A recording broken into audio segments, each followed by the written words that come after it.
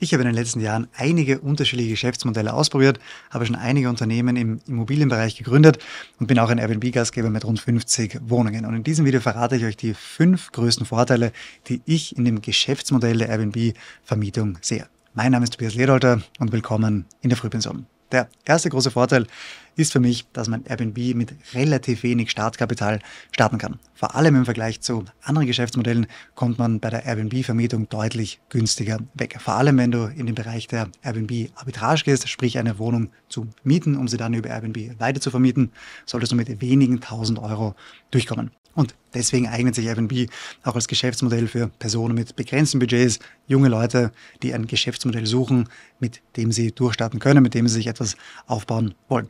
Ich habe meine allererste Wohnung auch mit ungefähr 3000 Euro eingerichtet, auch wenn es jetzt schon ein paar Jahre her ist und die Inflation in der Zwischenzeit ja doch ein bisschen gestiegen ist, gibt es immer noch einige Tricks, wie du sehr preiswert deine erste Airbnb-Wohnung einrichten kannst. Denke zum Beispiel an gebrauchte Möbel. Hier gibt es ja im Internet wirklich coole Seiten, wo du gebrauchte Möbel finden kannst, die A cool aussehen, gut in Schuss sind und vor allem aber auch deutlich, deutlich günstiger sind als die Möbel aus den Möbelgeschäften. Also gebrauchte Möbel, gerade am Anfang ein sehr guter Weg, wie du hier sehr viel Geld sparen kannst.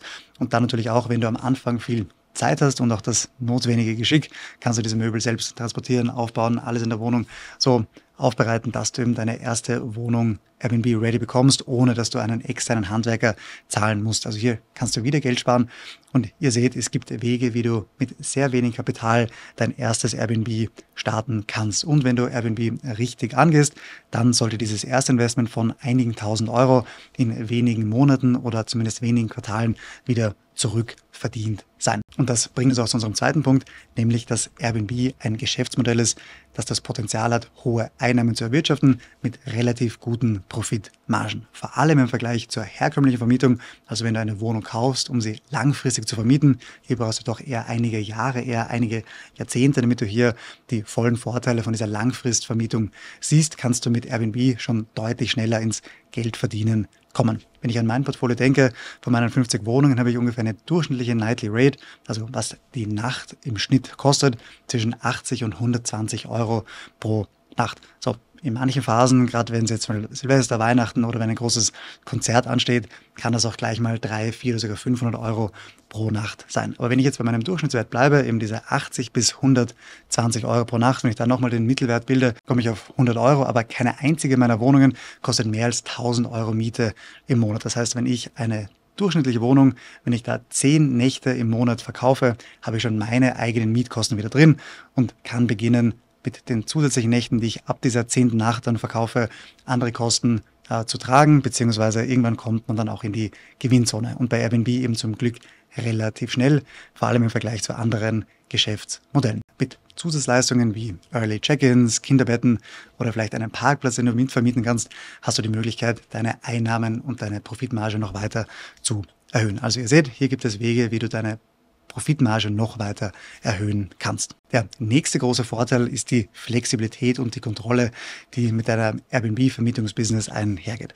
Es beginnt schon bei der Auswahl der Wohnung, bei der Einrichtung der Wohnung. Hier ist so eine große Flexibilität, aber auch Kontrolle, wie du das Ganze angehen möchtest, solange deine Gäste happy sind. Und deine Gäste sind dann happy, wenn du als Gastgeber fast nur 5-Stern-Bewertungen bekommst. Und solange du eben diese 5-Stern-Bewertungen bekommst, hast du eine recht hohe Flexibilität, wie du das Ganze angehen möchtest. Du kannst ja schon mal aussuchen, welche Gäste du akzeptieren möchtest. Kann zum Beispiel jeder dein Airbnb buchen oder musst du deine Gäste im Vorhinein bestätigen, damit sie bei dir buchen dürfen. Du kannst überlegen, möchtest du es deinen Gästen ermöglichen, dass sie nur nächteweise bei dir bleiben, eine Nacht oder vielleicht zwei Nächte, oder ist es dir wichtig, dass sie immer gleich eine ganze Woche bleiben? Du bestimmst, wann sie einchecken müssen, wann sie auschecken müssen und so weiter. Das heißt, du hast ja eine sehr große Flexibilität und auch eine große Kontrolle, wie du dein Airbnb-Business angehen möchtest, damit es eben möglichst gut zu deinem persönlichen Lebensstil passt. Das ist etwas, das bei anderen Geschäftsmodellen nicht so einfach ist, wo du es nicht so einfach kontrollieren kannst, wie du das eben managen möchtest. Und auch im Betrieb selbst hast du natürlich ein hohes Maß an Flexibilität und Kontrolle.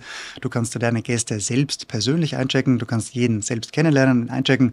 Das gleiche gilt natürlich auch für die Gästekommunikation und die Reinigung. Entweder du machst es selbst oder du überlegst ein System, wie deine Gäste automatisiert selbstständig in die Wohnung kommen oder wie du die Wohnungen reinigen lässt. Wie du das machst, ganz egal. Hauptsache ist nur, dass du am Schluss eben deine 5-Sterne-Bewertungen bekommst. Und das Ganze geht natürlich Hand in Hand mit deinem persönlichen Zeitmanagement. Wenn du gerade Zeit hast und möglichst viel aus dem Airbnb rausholen möchtest und auch keine Angst hast vor ein bisschen mehr Arbeit, kannst du natürlich deine Airbnb-Einstellungen so wählen, dass du zum Beispiel auch am Wochenende Gäste eincheckst oder dass deine Gäste nur sehr kurze Aufenthalte bei dir machen können, zum Beispiel wenige Tage und du so möglichst viel aus deinem Airbnb rausholen kannst. Wenn du aber zum Beispiel siehst, hey, im Juli, da möchte ich selbst auf Urlaub fahren und habe keine Lust, mich mit meinen Airbnb-Gästen herumzuschlagen, dann blockierst du einfach deinen Kalender und hast so die Möglichkeit, sehr flexibel zu bestimmen, wann du als Airbnb-Gastgeber aktiv sein möchtest und wann eben nicht.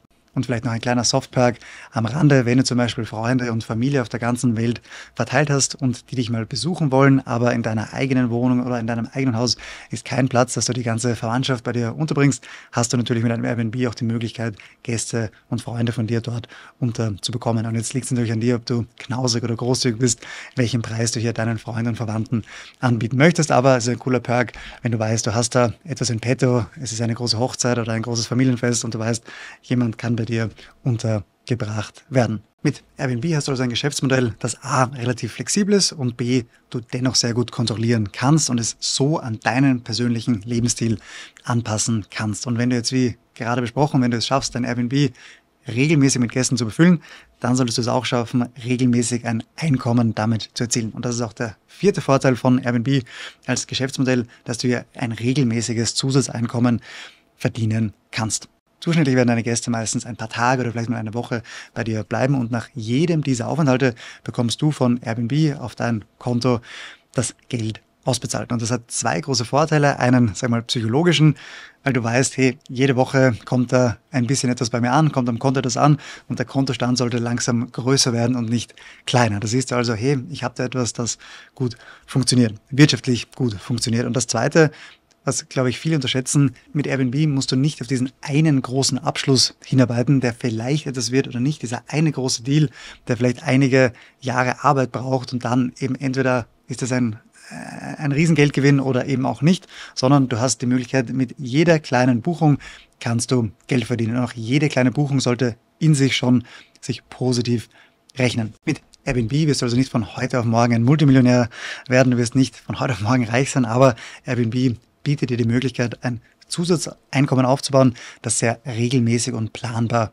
ist. Und wenn du jetzt in dieser Situation bist, dass du mit Airbnb begonnen hast, Geld zu verdienen, vielleicht sogar schon dein erstes Investment von der Einrichtung damals zurückgezahlt hast, dann stehst du jetzt vor der Qual der Wahl, was du mit diesem Geld machen möchtest. Du kannst es investieren in einen ETF, du brauchst es vielleicht für dein Haushaltsbudget oder du haust es einfach selbst am Kopf, fährst selbst auf Urlaub, alles gute Optionen.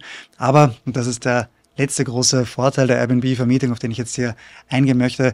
Airbnb ist ein Geschäftsmodell, das gut skaliert. Das heißt, wenn du jetzt mal Geld mit Airbnb verdient hast und du siehst, hey, dieses Geschäftsmodell, das gefällt mir, dann hast du hier die Möglichkeit, dein Airbnb weiter und größer aufzubauen. Und das deswegen, weil wenn du es richtig angehst, du die Möglichkeit hast, dass du mit einem wachsenden Airbnb-Betrieb, dass du hier auf einige positive Skaleneffekte treffen solltest. Und zwar, dass es in Summe günstiger wird für dich, dass es in Summe effizienter wird für dich und dass du so in Summe über deinen gesamten Airbnb-Betrieb gerechnet mehr verdienen solltest, als wenn du nur eine einzige Airbnb-Wohnung betreibst. Und damit du hier ein erfolgreiches, skalierbares Geschäftsmodell mit Airbnb aufbauen kannst, brauchst du in Wahrheit zwei Dinge. Das eine sind Arbeitsprozesse, die belastbar sind, eben auch bei einer hohen Frequenz. Stell dir vor, du musst einen Gast in der Woche einchecken.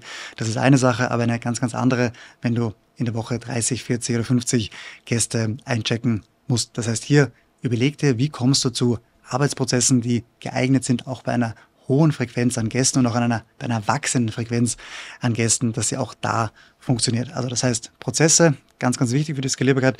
Und das andere ist natürlich die Auswahl der Immobilien. Stell dir vor, du hast 30 Wohnungen in 30 unterschiedlichen Städten, dann musst du dir in 30 unterschiedlichen Städten überlegen, wie die Wohnungen gereinigt werden, wie die Wäsche gereinigt wird und so weiter. Das ist ganz, ganz komplex und hier musst du es schaffen, eben bei der Auswahl deiner Immobilien solltest du darauf achten, gerade wenn du es selbst managst, dass die möglichst nah beisammen sind. Also wenn du es schaffst, dass diese Wohnungen in der gleichen Stadt sind, gut, wenn sie in der gleichen Straße sind, besser, aber wenn sie im gleichen Haus sind, ist das die allerbeste Lösung für dich als angehender Airbnb-Gastgeber, wenn du hier einen großen Airbnb-Betrieb aufbauen möchtest. Das heißt, diese zwei Dinge, auf die solltest du achten, wenn du Airbnb groß aufbauen möchtest. Ja, Airbnb ist ein skalierbares Geschäftsmodell, vor allem wenn du immer auf diese beiden Dinge achtest. Deine Arbeitsprozesse, wie dein Airbnb-Betrieb läuft, also gemanagt wird und andererseits auch bei der Auswahl deiner Airbnb-Wohnungen, dass die möglichst nah beisammen sind, weil sonst brauchst du eben ein Management-Team, das diese Airbnbs für dich managt und hier musst du diesem Team natürlich voll vertrauen